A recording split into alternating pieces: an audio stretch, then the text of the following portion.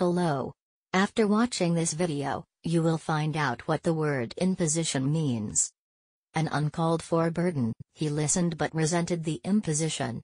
The act of imposing something. An uncalled for burden.